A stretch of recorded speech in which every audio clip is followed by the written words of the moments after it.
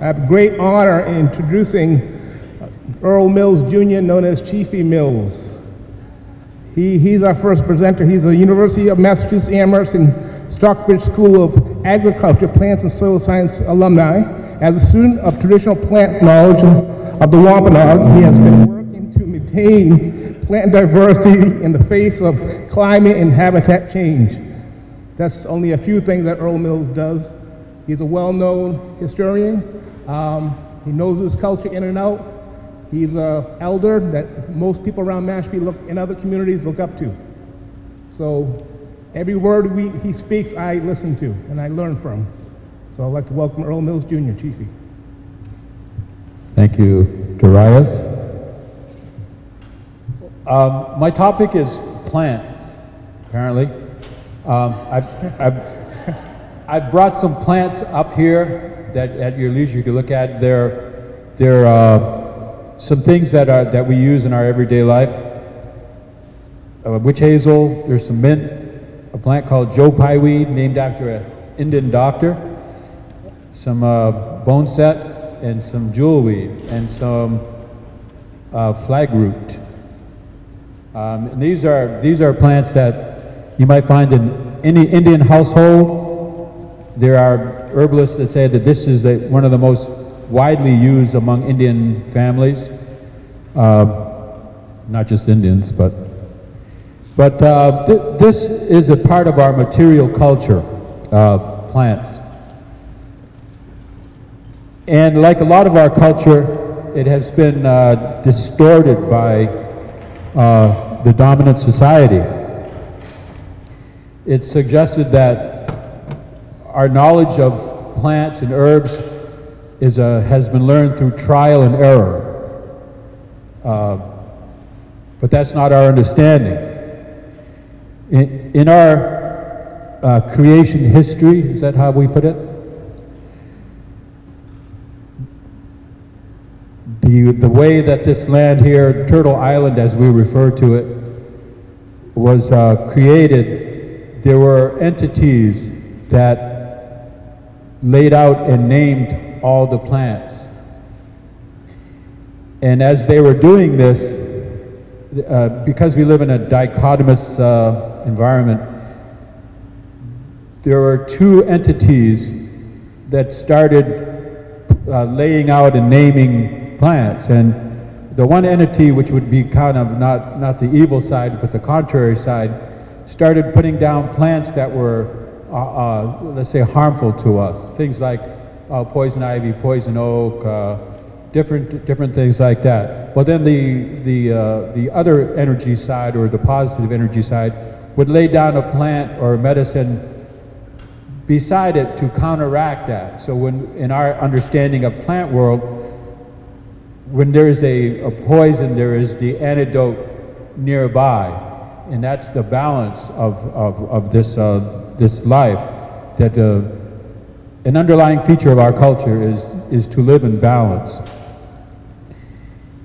And that is how we have, for thousands of years, uh, lived. This land, like Linda was alluding to, was, was viewed as a, a bountiful paradise by early Europeans. They saw huge groves of nut trees and, and you know, more, more birds than, than could be counted. These things were, were managed because back in the old days, we had, through our spiritual understanding, learned how to survive based on the things that were available. And we used our, our knowledge of the interaction of these things to manage them to their fullest potential.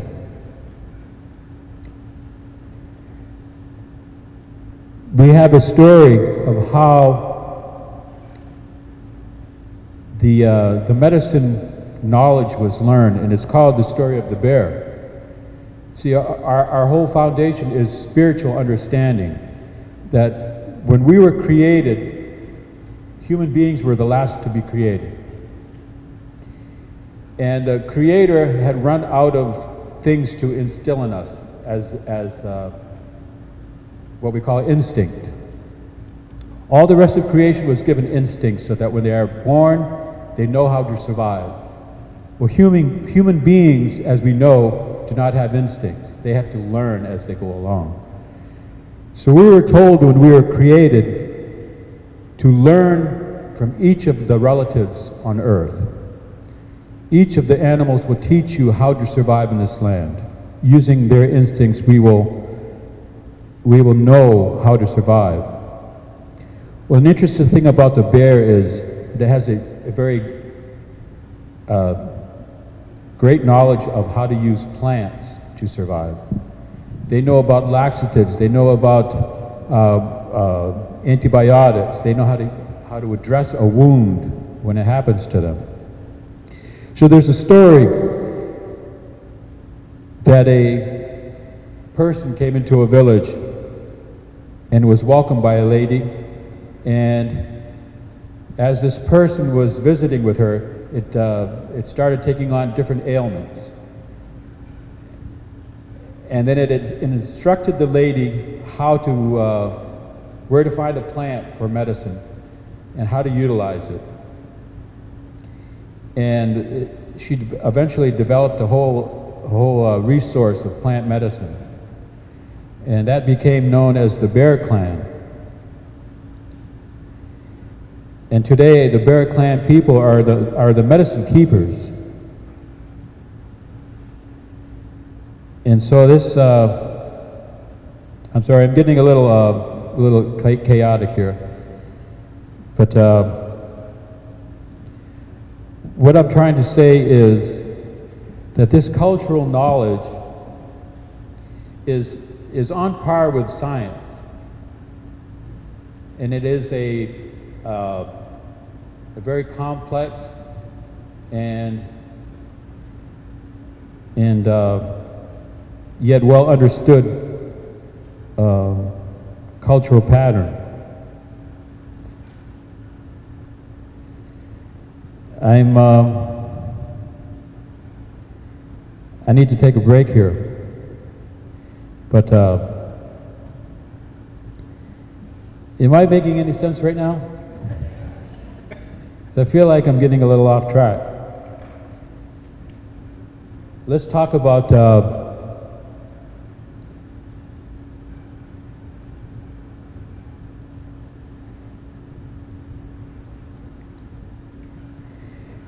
let's talk about how we can use this in school. Okay, so our, our life is based on the seasons. Our life in the Wampanoag Way is based on the seasons. Spring is the beginning. Spring is a time of rebirth.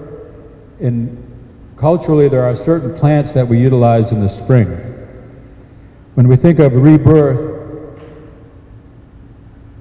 we think of coming out of a long sleep or, or just starting anew. As the, uh, when the plants first start growing, they are at their most nutritious time. Well, we, we have what we call first foods. And that is a time when, coming out of wintertime, you have literally you have your first fresh food that's available.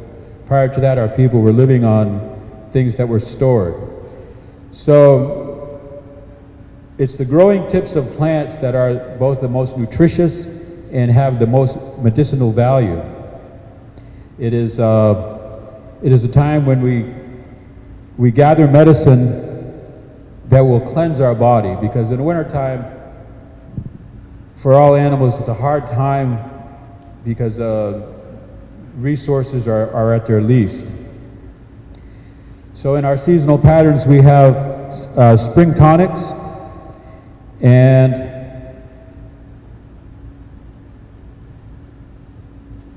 it is a time that uh, we use that we have learned from the bear. Again, when a bear comes out of hibernation, the first thing he does is he goes and has a has himself a nice laxative because he's bound himself up for the winter. And when, when, you're, when you're hunting bear in the spring, the spring bear coat is uh, softest, and so it's a time when, when our people are, are, are looking for our bear skin for clothing.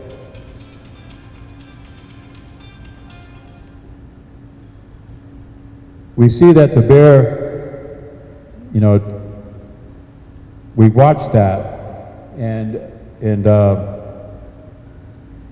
so we're looking at those new spring tips. We look at our our bodies, and we'll we'll look for a liver tonic, and when, they, when the English came here, they marveled at the, at the health and vigor of our people.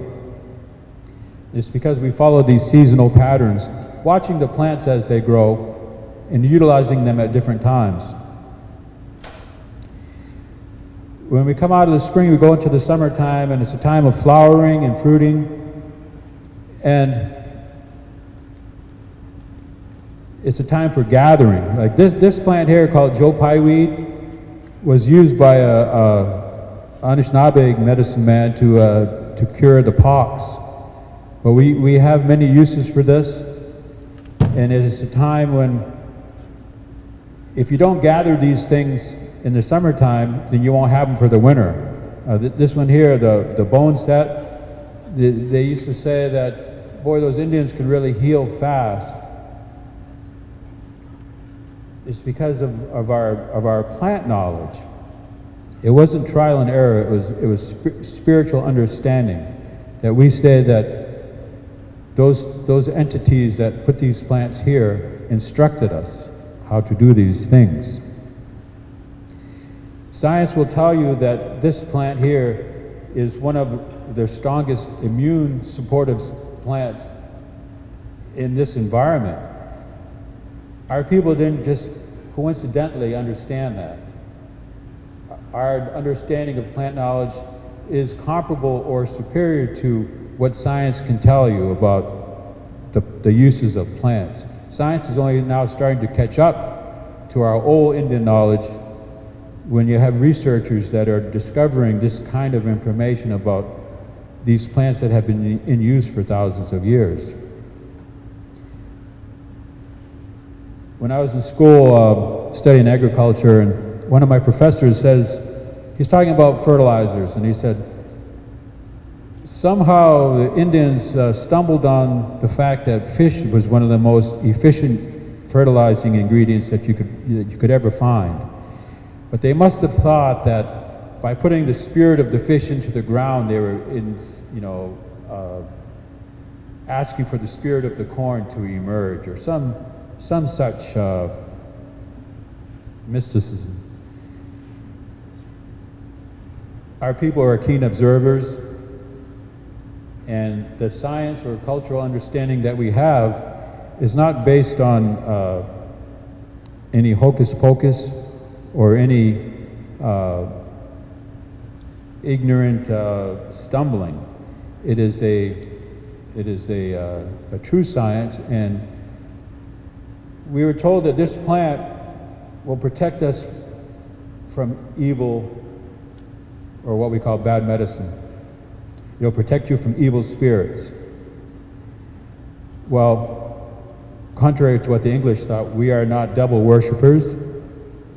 But for us, evil spirits are sickness. Sickness and ill health. Those are the most severe things that could affect a family because they could take away your children. As it turns out, this root is uh, extremely high in bioflavonoids and uh, antioxidants.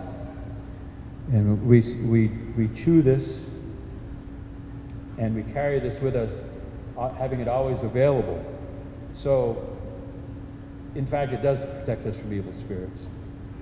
And it's not, uh, a lot of things I used to hear as a child, I was thinking, oh, that's, that's Indian mysticism, you know. But the more I studied, the more I learned, the more I realized that that whole Indian mysticism is an American uh, fallacy our Indian ways are something that has allowed us to survive for thousands of years. But in this, uh, in this society, we are made to, to feel embarrassed or ashamed of our, of our Indian ways.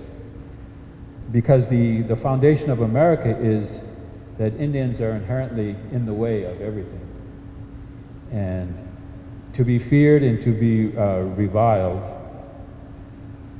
Uh, I was at a powwow recently, and there was a, a man with his young child. He was carrying him on his shoulders, and he says, uh, "Keep an eye out for these guys because one of them might come up and scalp you." And I thought that kind of that kind of uh, conversation was, you know, way in the past. That we had evolved a long way. But then I, I remembered that, you know, the foundations of America is is to get rid of us, not that by Americans, but of America. You know, the, the, the, the like the state flag it's got the Indian with a sword over his head because we're in the way of progress and advancement. And, you know, that, that is the core of, of the American way.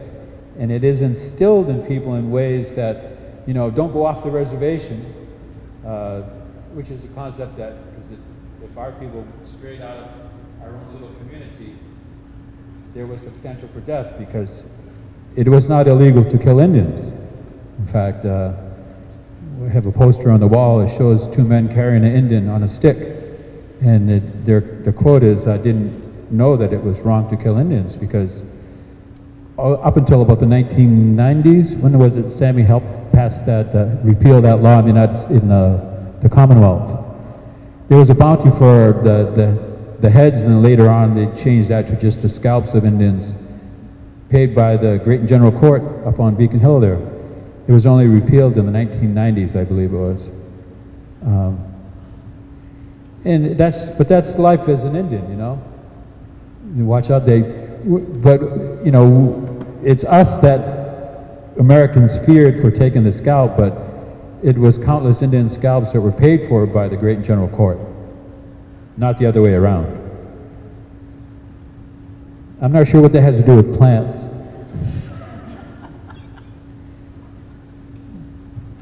But it, uh, you know, it's that Indian mysticism thing.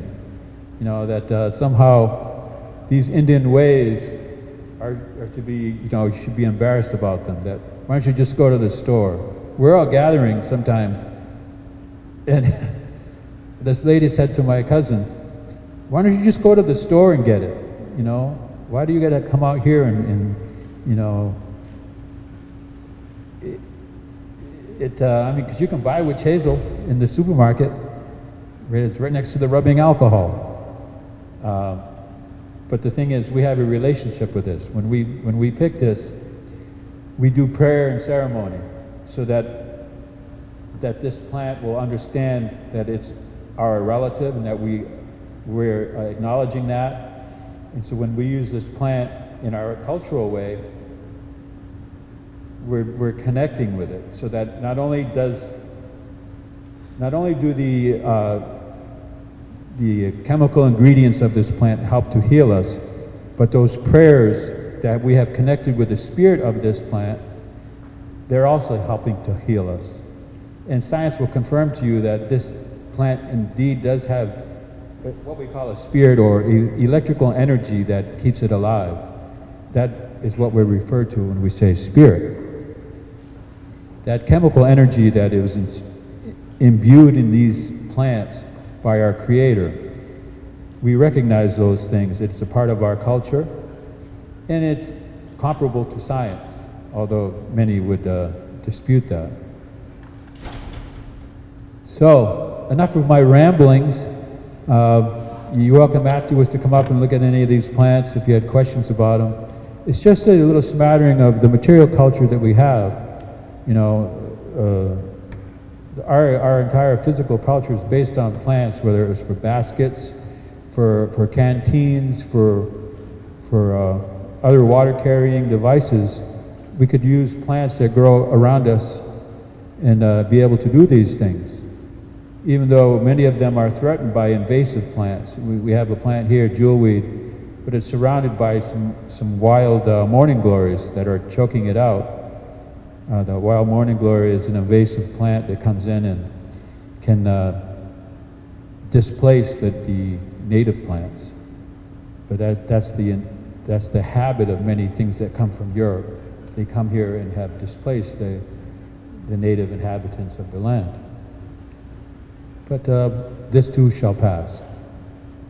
Thank you. We got our next, next presenter, George Chucky Greene, is a Wampanoag and has almost 30 years of conservation and environmental management experience. He served as the Assistant Director of the Natural Resource Department of the Mashpee Wampanoag Tribe from 2008 to 2017 before taking on the role as Director. What Chucky does now is a lot of consultant work with the environment, with Massachusetts, and um, you'll learn quite a bit from this man. Well, thank you, Chucky. First of all, I've decided to come out here because I've watched people all day watching PowerPoints and then turning back to the mic and then watch and then turn back. And so I wanted to get in a position where I could see everybody and, and speak to everybody. You said my name is George Chucky Greene. I retired this year from the Natural Resource Department of the tribe. I see faces that I know and um, I'm looking forward, looking forward to talking to you about a subject that is near and dear to my heart, and that is the environment that we live in. Um,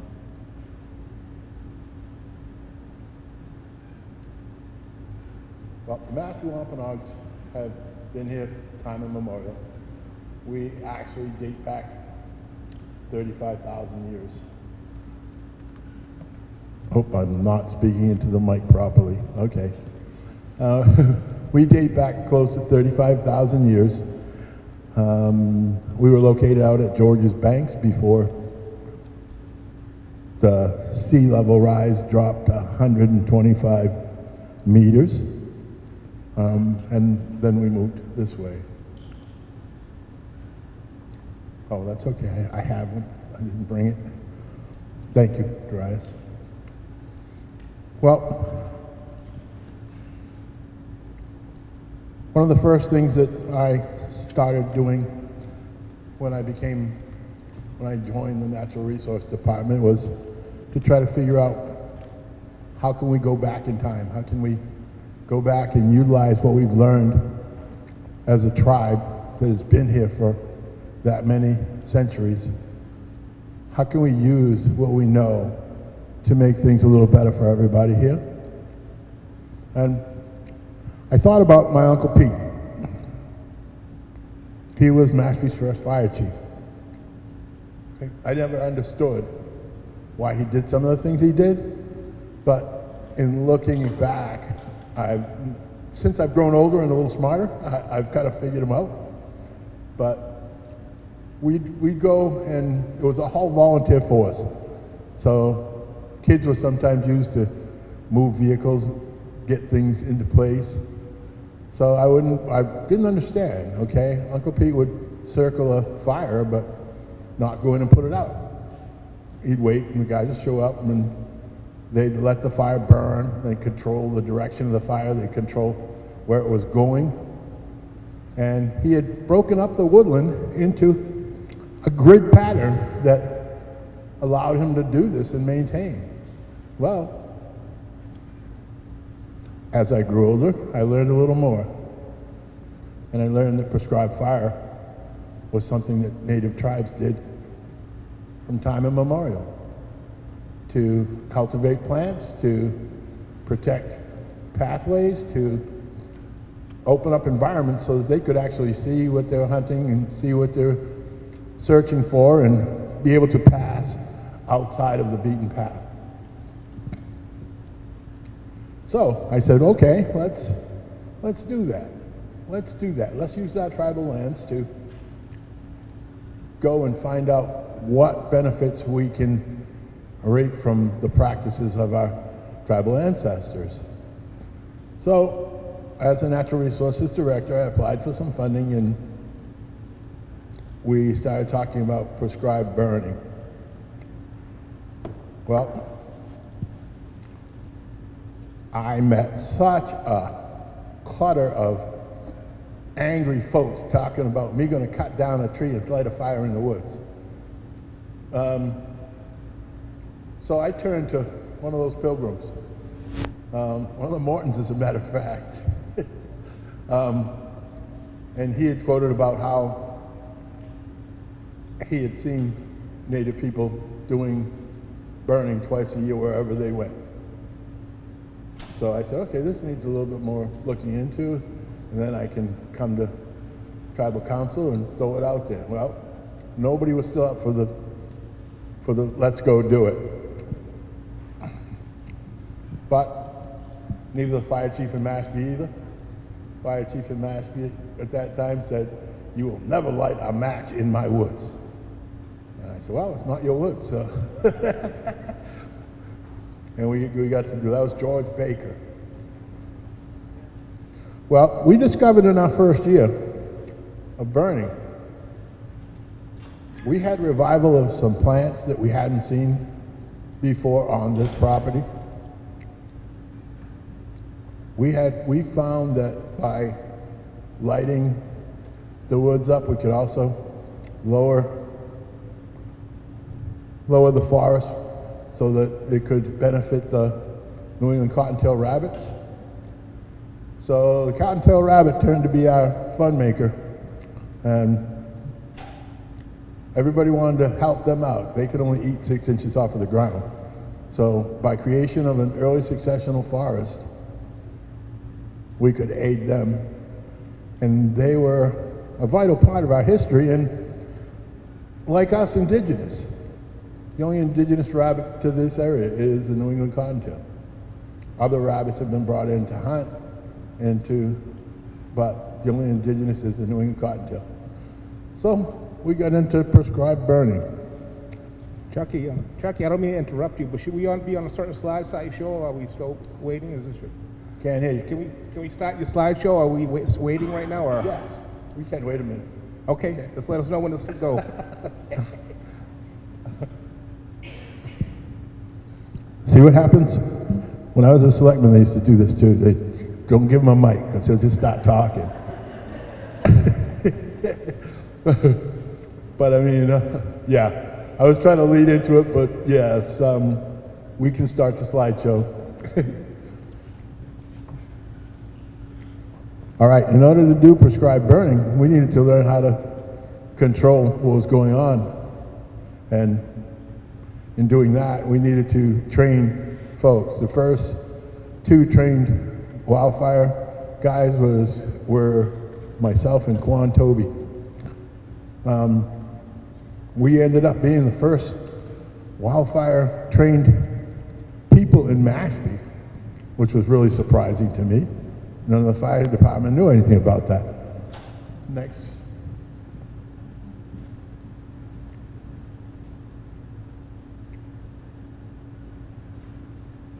I don't like the way they show up, but I think we can go to the next slide. It'll probably be a little better.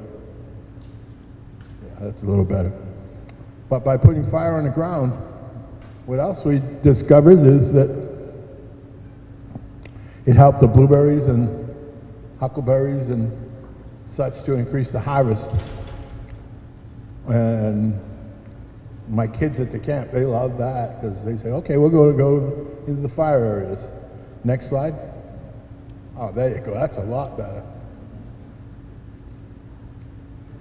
And we also had decided that, okay, as we move forward, we've got to build a fire force. Um, uh, that's all right. You get, didn't have to that far, but that's okay. It's good. So we decided the Natural Resource Department needed to have some of its people trained as well so that we could contribute to the fire response and also the prescribed burning. We have one of our fire guys right at the back of the room. I guess he came down to listen. That's Dale Oakley. Um, we were able to certify several tribal residents to be our fire guys.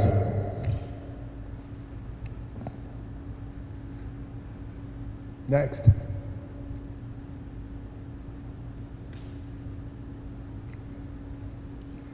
So we dealt with that question. Next was shellfish and water quality. Water is life to the Wampanoag people. It's n oh, you're a little ahead of me, but okay. um, water is life to the Wampanoag people. And so we had problems. Our bays were all state listed impaired waterways. So we had to think of a way to address this and also a native way. We went to the scientists and said, okay, what do we do? And they're saying, well, there's no way. It's too much. It's too late. It's so we ended up talking to Dr. Brian Howes out of UMass Dartmouth, and he said, well, you ever thought about oysters? And we said, well, sounds like a good idea. Let's look at it. So we started looking at oysters, oyster culture to try to mitigate the nutrients in our embayments. So we brought in oysters. Everybody said it's not going to work. Well, it actually did. The EPA gave the department the Environmental Merit Award for proving that we could reduce nutrients in the environment with oysters. And that's the way it would have been in our tribal towns because we would have had the shellfish in place to take up nutrients that weren't there yet because we were not that many people as we are now. But it was another way that our tribal history could speak to us and say, okay, we've got a problem. We didn't create the problem, but we can help fix the problem. So, I mean, that's where we went with that. We set a goal of 10 million oysters, which I'm no longer the director, so I don't know where we stand on that, but but the goal was the goal was a good goal, and it's a good goal still. And oyster culture can an oyster can filter eight gallons of water in an hour. Um, one of the things that I have my kids do over and over is put a 10 gallon tank up and about a half a dozen oysters, put them in that tank and visually watch them clear the water.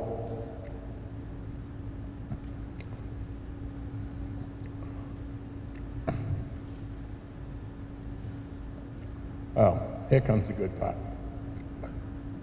Slide. These are the two farms that we set up. Um, four and a half acres and an eight acre farm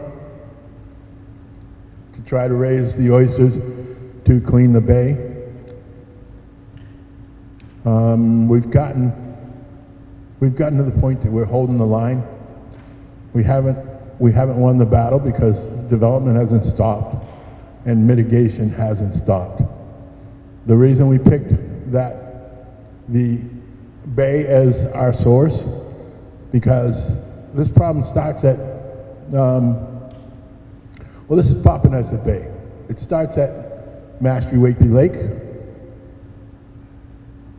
and it's like a 58-year run from the lake to the bay. So we felt to get the biggest bang for our buck, to be able to demonstrate to people that this was actually working, that we needed to, instead of going to the faucet, we needed to go to the drain. And we've been able to show reduction, not to a point that we're making real big headway, but to the point that we've got the town talking about um, sewage treatment, sewering, to try to reduce the impacts that are coming down the river. Next. That's Poncon Point. Gooseberry Island. That is where our oyster farm is located. Next. That's one of our tribal members working with the prior shellfish constable, Richard York. He, like me, is an old retired guy now, so um, but that's where we started. We started raising oysters in baskets and then we had a harvestable byproduct, which is very Cape Cod-like. Everybody likes it on Cape.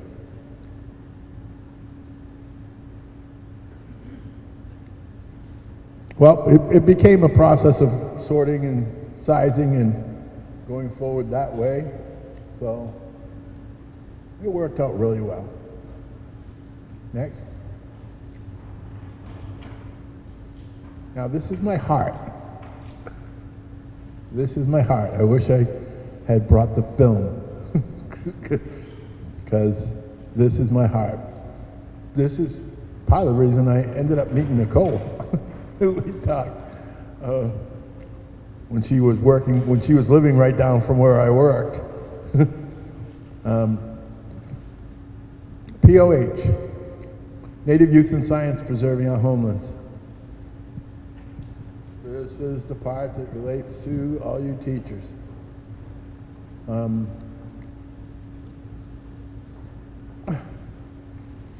our way of teaching to our children is twofold. It's we take a scientific perspective. We work with scientists from USGS, from NOAA, from Woods Hole Oceanographic, um, APHIS, and we try to develop a curriculum that is different than anything that they've had before. And that being that they'll have hands-on in doing each thing that we have to work on. Um, camp has been great success. Nine years. This year was the finish of the ninth year. The last of my grandchildren have now participated in camp, so I'm safe with my retirement. Um, it's, it's the biggest pleasure in my life, but Mr. Mills, who you guys heard from earlier, has been a culture keeper alongside me for the whole nine years. And us being able to give the kids a tribal perspective has brought it along really well. When we first looked at doing the camp, it was about that our kids were losing touch with their ancestral knowledge and also the stories. When I grew up here in Mashpee, we walked to the fire station, sat down and listened to the elders talk about their stories, about where, who we were, and then we would walk down the yellow line because nobody wanted to get too close to the woods because we were all terrified by that point. And we'd all walk down the yellow line on our way home because at that time there weren't any street lights out on Route 130. so we saw that that wasn't happening, that our kids were growing off of the path. They were growing into a culture that is electronic and not too much hands-on. So what we wanted to do is give them an opportunity to go out in the environment and learn. Next.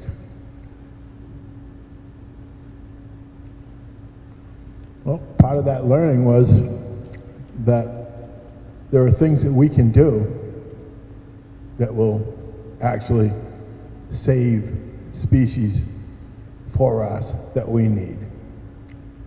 Um, what you're looking at now is a pollinator garden that the kids planted on our tribal farm. The pollinator garden supports pollinators who if, are struggling right now to stay alive with all the invasive animals and plants and so by building these pollinator gardens we taught the kids that you know it's not always you can't do something. You can do a little something you might not be able to solve the whole problem but you can help solve the problem. You can work towards solving the problem. And so POH, part, one part of POH was pollinator gardens. So you can go to the next slide. Another part was looking to bring back plants that were we were lacking because of sea level rise or just loss of space where they naturally grow. So we decided to plant sweetgrass. So we did that was that there. The kids went in and they planted some sweetgrass and we started growing our own sweetgrass. I know, I'm not used to having a mic. um, well, we were losing sweetgrass in its natural areas because of the sea level rise. And so we decided to work with USGS. No, sorry. NRCS. Um, to plant sweetgrass. And so we had the kids come in and do some sweetgrass planting. Um, we got the plants from the the materials plant center in New Jersey um, to try to bring back some plants of cultural significance that we were losing because of sea level rise. Okay, we also got help from the Plant Materials Center with the pollinator gardens. Pollinator gardens, we set up, the kids in camp set up the pollinator gardens so that we could encourage pollinators to come to our farm. Next. The kids did all the spacing and planting. And if we could go back to that very first picture, this is the first garden. One more back. Nope, one more.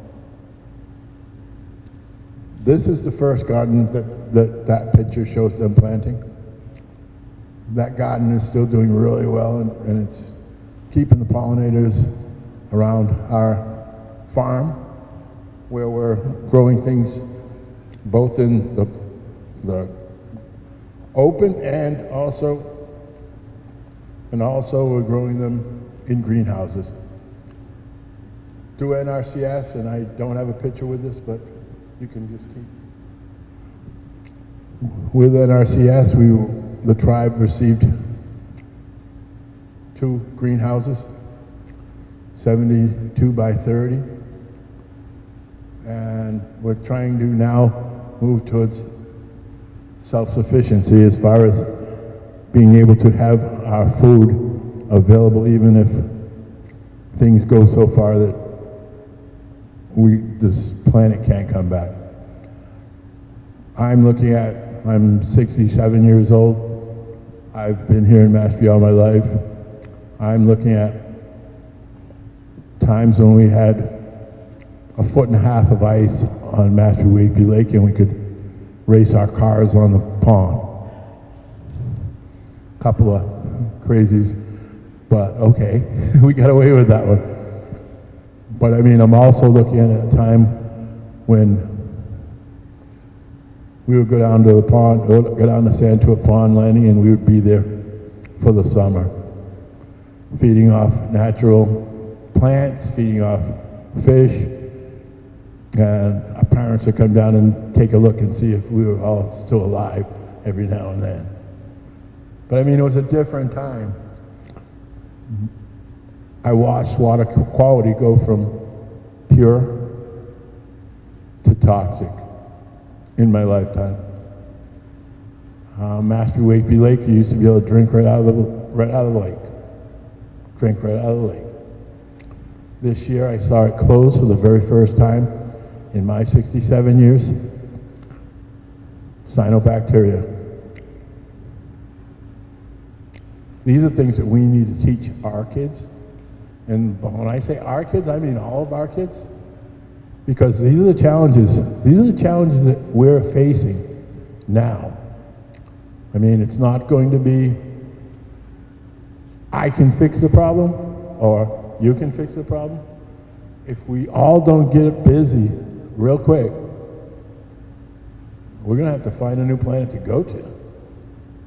And I mean, maybe that's what they're working towards, but right now, we have definite, definite problems. Santuit Pond, Santuit, place of the Sachem, is so toxic at times, swimming, fishing, boating, all on a sign saying, no, don't try it. We have one lake in town that is still open. And I mean, that's questionable as to when that's going to fall. So I've been trying to pass on to kids. I've been trying to be a teacher like you guys. Follow the lead of my son. and pass on the knowledge that I have. Um, by the way, my son is a teacher. He, he taught here in Mashpee years ago, I guess I'll say it, because, but, um, you know, we need to teach our kids that where we're going is wrong. And that's the world. That's not just us. That's the world. And if we don't look at fixing it, I don't know what we'll have or how well we'll be able to live. Should be about it for me, huh?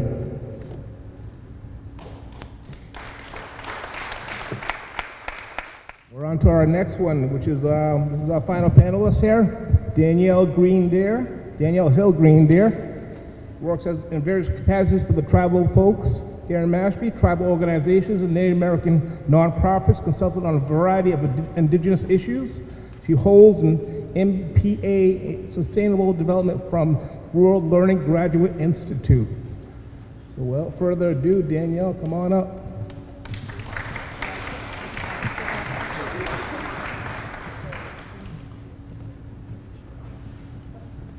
Hi, everybody.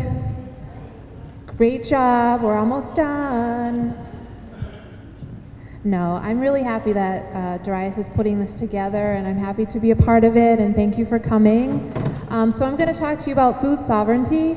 Um, I've been working with tribes, um, nonprofits, different NGOs um, for the last maybe five years, um, consulting for food sovereignty issues. So helping different um, tribes define their food sovereignty plans and um, help tribal members um, get educated on what food sovereignty is.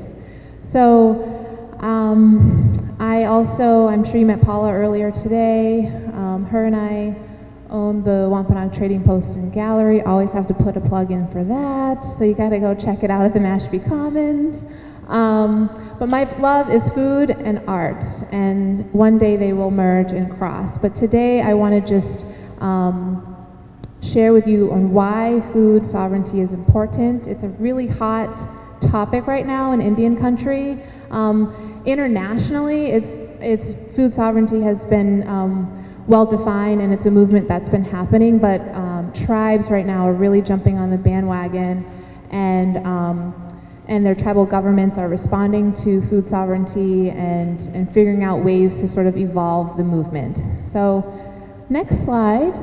You'll leave here today knowing what it is. Um, you'll learn about the context of the food sovereignty movement here in Mashpee for our tribe, um, and, as well as what some other neighboring tribes are doing.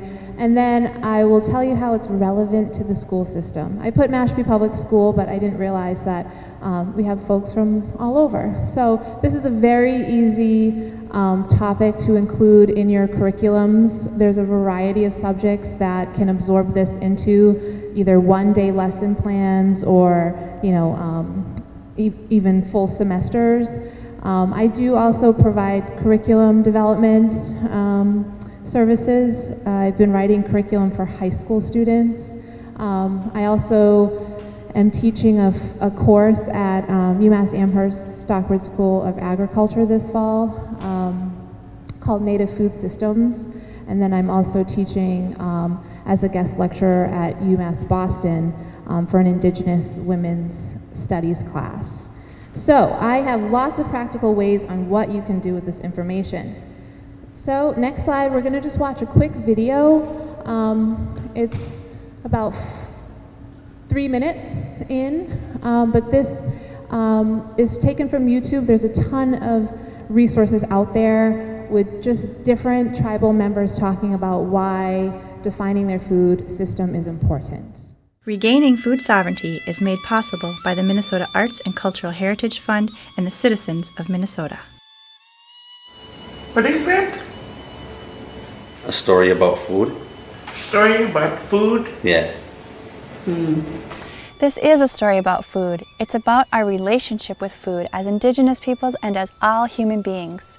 Buju Chinodinique Indigenikas. My name is Simone Senogles. My family is from the Red Lake Nation here in northern Minnesota, and I work at the Indigenous Environmental Network on our food sovereignty program. We all know that Indigenous people suffer disproportionately from health problems such as diabetes and heart disease. But why is this? It's not as though we are naturally unhealthy. And just a few generations ago, these diseases were virtually unknown. And it's not just about personal choice. It's the result of a corporate controlled global food system that values profit over human and ecological health. And it's the result of genocide, colonization, and the disruption of traditional ways of life, language, and culture. Uh, we find that there's a correlation with the issues of environmental and toxic contamination environmental destruction, and it's linked to building sustainable communities. As we started to address the issues of climate change and global warming, we found that based upon looking at our prophecies, looking at traditional stories and having conversation with our spiritual leaders, that the time has come that we have to be very focused on addressing many different issues that confront us today.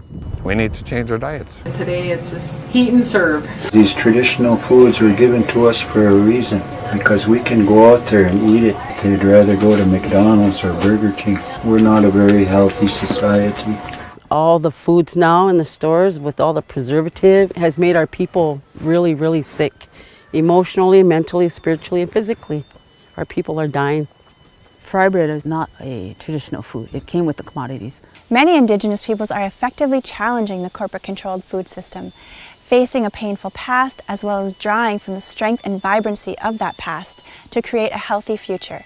Hunters and gatherers, gardeners, elders and youth, tribal leadership, and community members are taking up their responsibility and exercising their power. Okay, so that was just a snapshot essentially on um, the movement. So, yes, it is about food, it's about our relationship with food, but it's also about, if you want to go to the next slide, I can read the, oh, I'll read the definition for you. But it's about tribal governments exercising their sovereignty. And the way that they can do that is enacting policies and tribal laws that not only protect the foods that are sacred and important to them, but um, creating um, these policies where the local municipalities will respect those laws and then it will protect those foods from being contaminated or will protect those waterways from being contaminated. So food sovereignty also goes into the rights of nature movement. Um, so that is also something I'll cover, but essentially there's 576 federally recognized tribes. So there's not just one um, one way or one cookie cutter um, food sovereignty um, movement. Each tribe expresses it a little bit differently, but that's the beauty in it. Um, tribes are able to freely develop and implement um, their own definitions. So they're defining what is important to them and why, and then how they'll com combat um, the issues that are preventing them from being healthy, from being uh, autonomous, from having these laws, from, you know, creating um, these policies. So it's also cultivating access and secure nutritious, culturally essential food. Um, so the goal is to have people eat healthy and also have people eat their own um, culturally relevant food. So not just going to the farmer's market or going and buying produce, it's about eating the foods that are culturally relevant and historically relevant to them. So when, whatever they define that as, Um, it's sourcing those plant and animal beings, and then it's figuring out how to educate their tribal members on where they are, how to harvest them sustainably, but then also, if they don't have access to where these plants and animals are, how can these tribes get access to them? Um, so then lastly, designing and maintaining food systems and policies, then advance tribal priorities um, for ensuring that tribal citizens have sustenance, that they need to survive and thrive physically, mentally, socially, culturally, not just today, but for the future. So that's why it's food sovereignty. Sovereignty is the big um, golden word um, because tribes are sovereign. So this is another way that tribes can um, enact their sovereign uh, powers and, and sort of empower themselves as a government to take over and control of the fate and the health of their tribal citizens. So let's move to the next slide. So this is a Wordle. I love Wordles. Um, it's a great activity to do in the classroom or in conferences like this. I wanted us to do it together, but it's like a big thing with texting, but essentially, um, this Wordle was taken from the Blackfeet Nation in Montana. And so, as the word gets bigger, it means that everyone has agreed on that same word. So, when they were doing their Wordle, wild rice was the most important thing to them. That's why it's the biggest. Um, so, to tie this into um, the rights of nature movement, um, the, the um, White Earth Nation, for example, wild rice is very important to them as well. And they're the only tribe so far that hasn't, has created a law that protects their wild rice because they have said that it is a being and it is and it and it it deserves to be respected and protected um, and they don't just sort of define it as a commodity or a food source, but that it is it has rights. And so they have enacted um, this wild rice law into their tribal government. And the beauty of that is that it now forces the local municipalities around them that are polluting the areas where their wild rice is growing, it is preventing them from doing such practices. So that is extremely powerful for tribes to do. So if we decided that Oysters. The oyster being is extremely important to us. And not only do we want to clean the waterways, but it's the oyster itself that we um, think is sacred. I mean, every plant and animal being is sacred, but that it is, it has culturally relevant um, and historical significance to our history, but also it contributes to the health of our people. And we want to enact a law that says we want to protect the rights of the oyster. So stop polluting and building around these watersheds and these waterways because it's destroying this being. So that's something extremely powerful that attorneys are really scratching their head around because it's never been done before. So that is an arm of the food sovereignty movement that is extremely important. It's not just about food, but it's about the policies around food. And it's, and it's taking out the commodification of these beings. So we're not just talking about food, we're actually talking about the rights of these plant animals that we consume as food. So, if we were to have a wordle, Mashpee was to have a wordle about food sovereignty, we'd probably have oysters up there, lobsters, you know, um, what else? Cranberries. What? Cranberries. Cranberries. What else? Let's do it with the month wordle. Herring, yes. Sweetgrass. Co-ops. Deer. Deer, definitely. Huh? Rabbit. Rabbit. Corn beans and squash. Corn beans and squash. Yes, yes, yes. What? Skunks. Ducks. Raccoons. yes, yes, and yes. So that would be our world. So let's go to the next um, slide. So the beauty about our world and being Mashpee Wampanoag and being on these lands is that we've never been displaced. So our foods and what we have consumed has stayed the same, essentially, and that's amazing. And And relative to our other tribal neighbors, we're pretty healthy over here, um, which is really great. We do eat very healthy over here. So that's good because we didn't, we weren't displaced, we weren't put out on reservation lands, and we weren't subjected to commodity foods. Um, so that's something that's really special about us. Um, but the other thing about that is that um, it makes us, it um, creates this idea though that we, we were the tribe that fed, fed the pilgrims and that's all we're known for, you know, and that, that's all we did.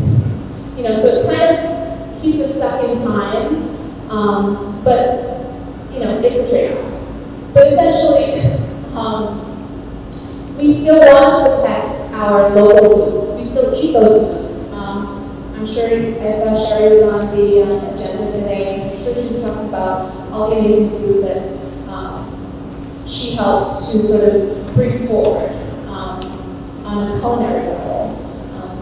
Inspired me to get into the sovereignty movement because prior to that, I, you know, I knew of different plants and like boxberries and things that grew, but I never actually thought that I could cook beyond Thanksgiving, that I could cook these meals all the time. It was kind of like a conditioning and a, you know, a colonizer mind that I had for a minute. And Sherry sort of drove me out of that when she started to cater to the, to the local powwows. Like, yeah, I can't just drink sassafras tea for no reason. Like, it doesn't have to be ceremonial or it doesn't have to be a special event. I should just eat, be eating all these things all the time.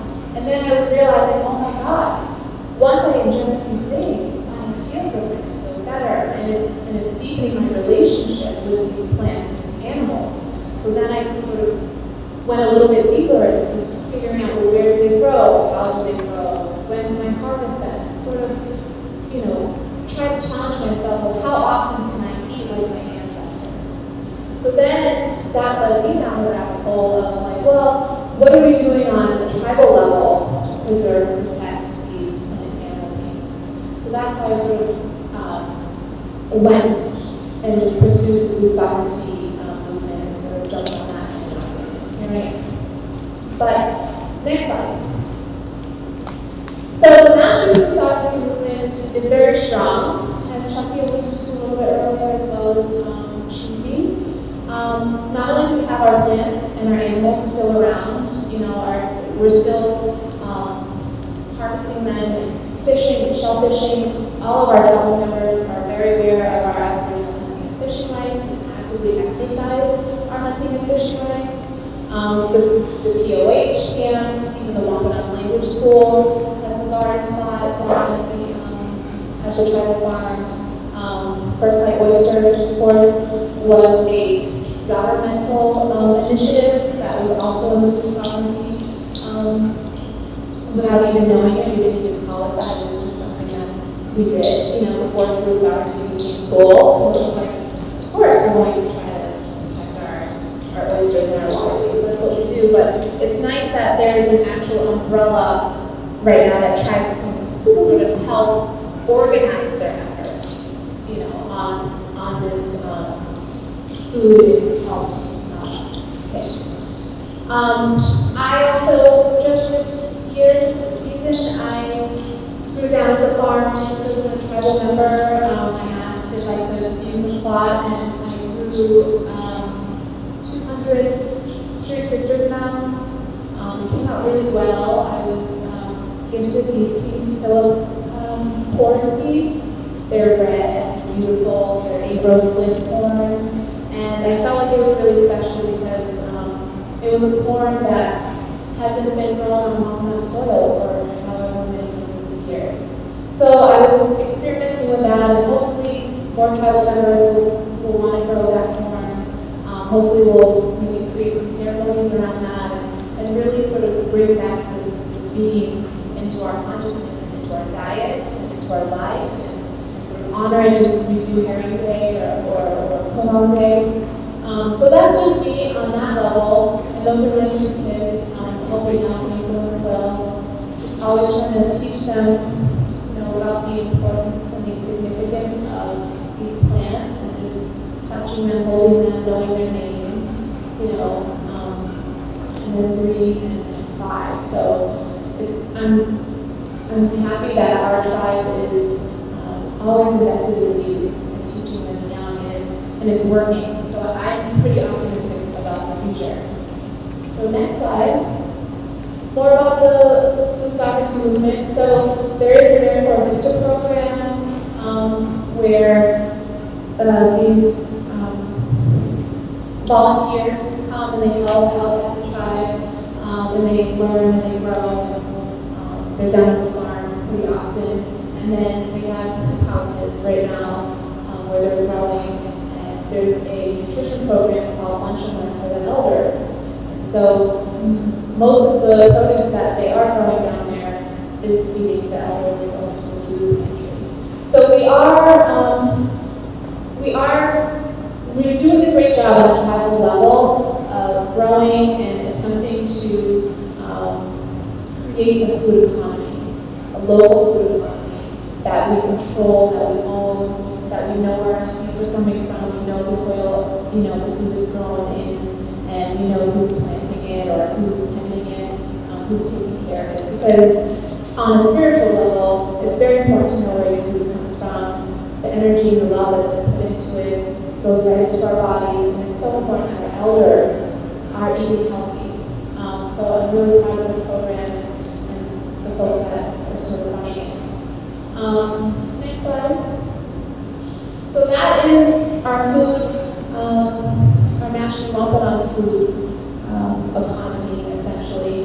And I say economy on purpose because, um, again, it's not something to be taken lightly. Food sovereignty is not just gardening, it's not just permaculture. Like I, I explained, you know, it can be exercised on the cultural level, political level, spiritual level, um, the social level. Um, and different tribes are doing different things. So the Wampanoag tribe has something similar.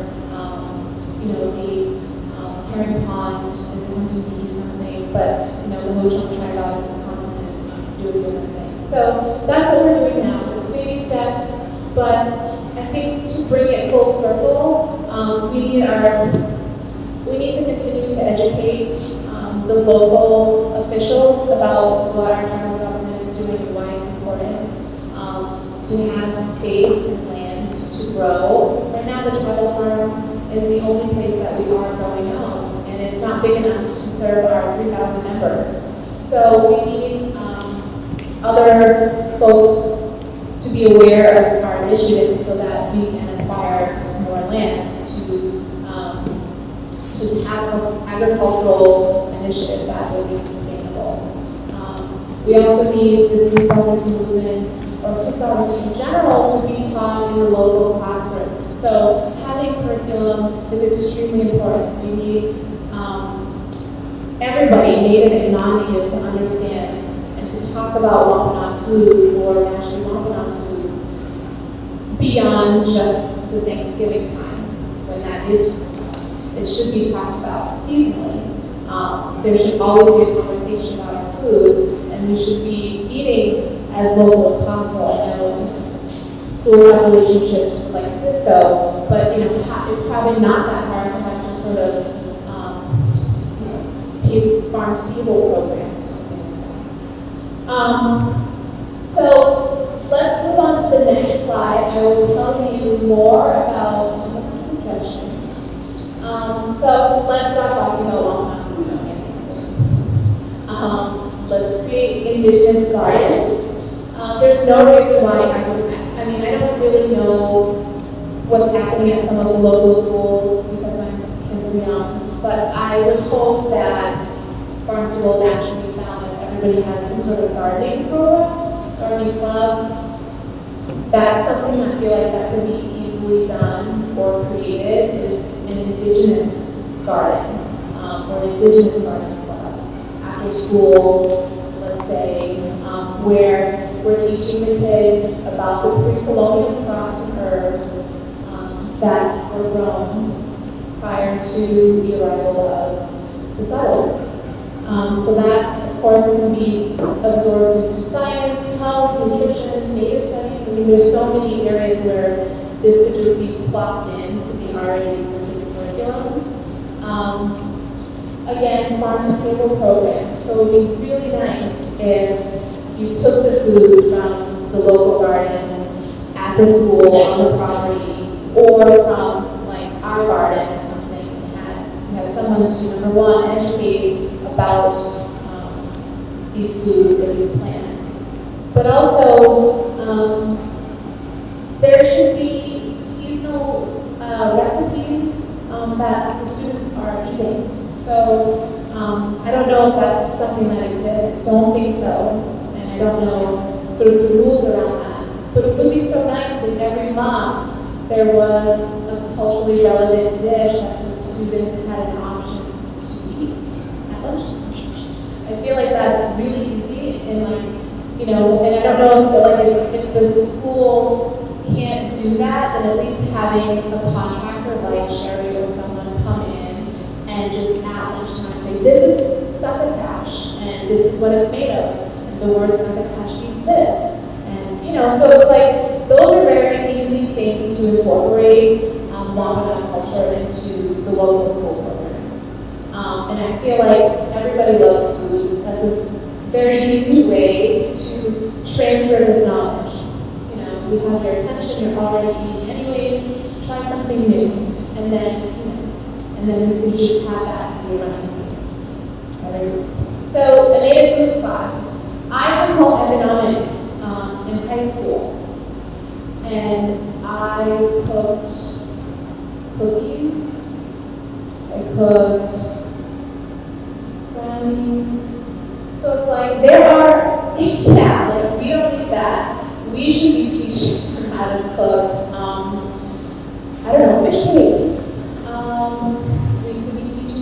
To harvest or identify or use some of these herbs for tinctures. Um, I feel like that's something that could be included in the local or in the already established home economics class, maybe one or two recipes to be substituted for Wampanoag recipes, or possibly have as an elective a, a native foods class specifically. And um, again, I've, I've been doing high school curriculum, so I don't know how maybe this could be for elementary students, but I'm sure there's a. Um, and lastly, just educational materials, um, posters, handouts. See, even if we're not able to provide those foods, just in their packets going home and having a seasonal recipe that they can try at home and then giving them suggestions on where they can source those um, ingredients or foods or herbs or what have you. So those are things that I was thinking about um, and just easy ways that you guys can go back and just continue this discussion. Um, but food is so important and it's all, it's all around us. Um, and we have the choice to always eat differently or learn different things. It's not like it's fixed, it's not like we can't change um, but that's one way that I feel like um, Wampanoag culture can be discussed because there's so many avenues that we can branch off of. So food, I feel like, is always the common denominator. Um, last slide. So with those suggestions and with this um, topic, some of the anticipated outcomes would be, of course, increased knowledge of local foods from the students, from the teachers, um, increased knowledge of Wampanoag history, and culture, pride. Um, I know that a lot of our students in the Mashpee Wampanoag, or in the Mashpee school system, sometimes feel marginalized or bullied. But if there was um, something that brought the past forward, that they could be represented in, and not just like part of a tribe that did something 400 years ago, but that they were part of a tribe that's doing something right now, um, today, like this is how we live type thing. It sort of instills a pride that's relevant, they can go home and then that can just, that's their, that little seed inside of them that can just grow. Um, they can become their own little um, experts, experts in this area. Um, increase awareness in healthy food choices, which will result in hopeful increased healthy eating habits.